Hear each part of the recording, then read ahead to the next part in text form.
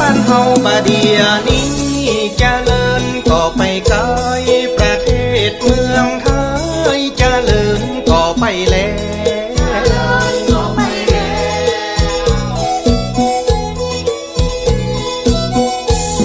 มาพอตี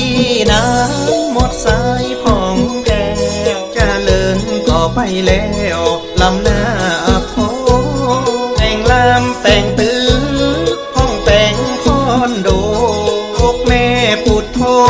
จนปอสูงเสียดป้า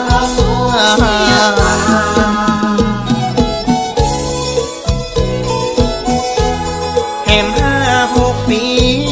ต่อไปตั้งหน้า พี่น้องจะได้ซื้อกินข้าวเป๊ะน้ำจะบาลายให้นาใจ